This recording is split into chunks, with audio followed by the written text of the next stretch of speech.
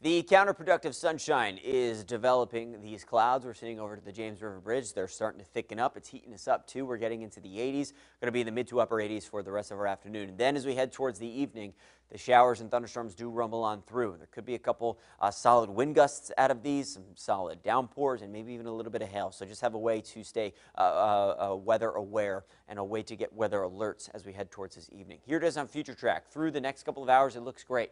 Even up until about 4 or 5 o'clock, looks okay.